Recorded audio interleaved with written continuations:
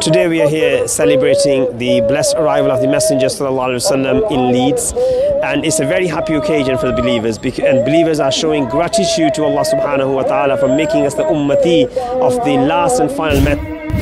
and the message of this milad is that we should follow in the footsteps of the Prophet and try to restore our link with Allah and also bring hearts together in this world.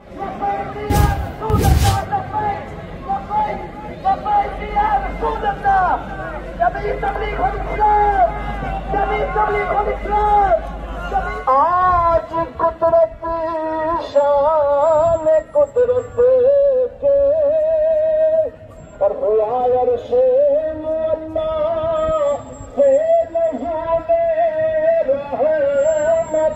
oh